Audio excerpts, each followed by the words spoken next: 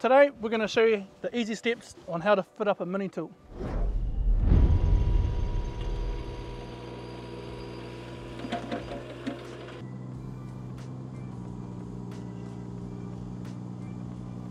Hey, I'm Mark from Attach2. Today we're out on site. Uh, we've been requested from a customer he wanted to upgrade with the standard draw pin hitch and a standard wide bucket and wanted to fit our new mini tilt. So we thought we'd take the opportunity to showcase how easy it is to fit up by doing it on site. Step one, we're going to remove the old hitch and bucket off the machine. Step two, we're going to fit the new mini tilt to the machine. Step three, we're going to prep and tack weld the valve bracket to the machine. Step four, we'll mount the valve. Step five, we'll plumb up the four hoses. Step six, we'll test it. So to complete this job on site, all we require is a punch, soft hammer, an Allen key set.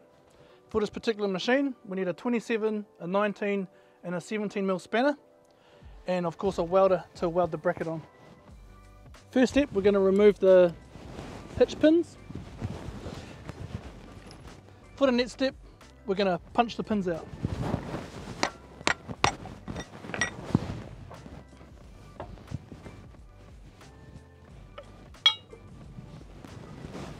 Once the pins are removed, we can remove the old hitch and now start fitting the new mini tilt.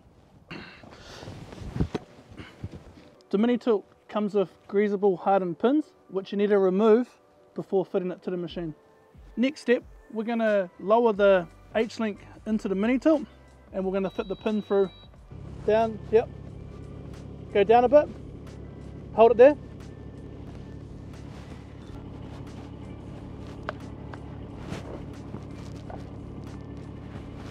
Now that the pins are mounted, we're going to fit the bolts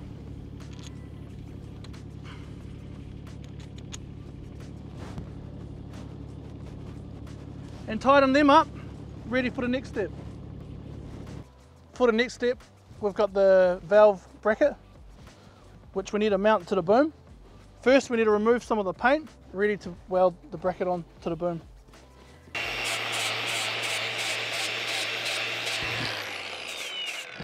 On this particular machine, the bracket sits on the boom like so, and we'll just do a small stitch weld on each side of the bracket. Before you do any welding, be sure to isolate the battery on the machine first.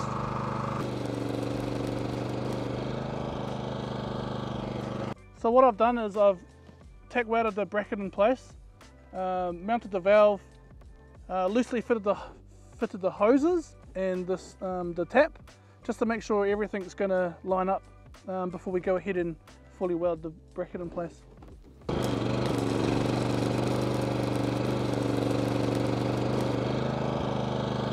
Now we're going to mount the valve to the bracket, which has been welded to the boom.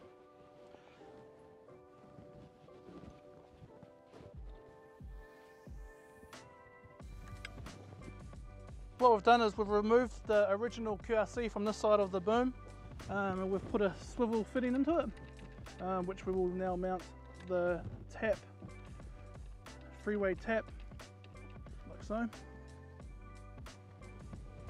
We're going to remove the caps from the outside of the cylinders. Remove the bung from the cylinder. Now we're going to fit the quarter inch into the outside ports of the cylinder. The reason why we've got um, two ports here is simply so you don't have a left and a right. Next step, we've got our longer hose of the four and we're going to fit it to this side of the valve.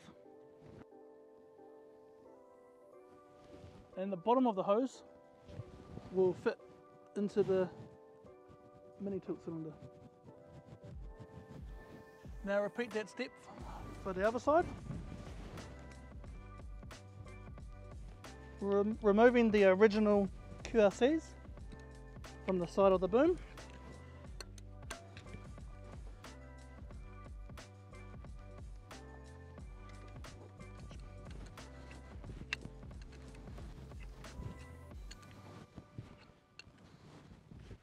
Now we've fitted the um, male to female adapter, we can now fit the valve. Now with the short hose, we're fitting it to the valve um, and then it goes to the top of the tap like so.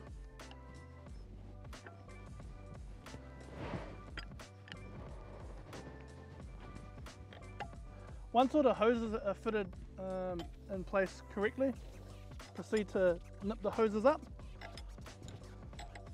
Now that the tap and the hoses are fitted, last step for this side is to fit the QRCs.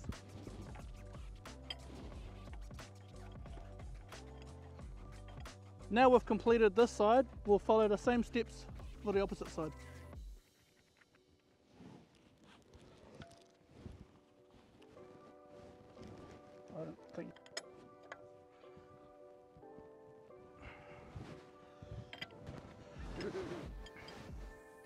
Now we've got all the hoses and the valve fitted, go through and check all the hoses are tight, and then it'll be ready to go and test it out.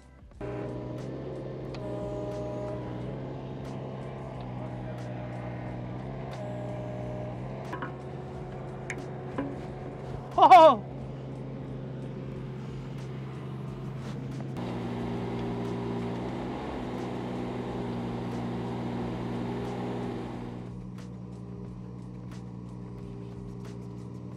So today we've shown you the easy process on how to fit a mini tilt on site. For any further information, go to our website. And that's all from me today. Cheers.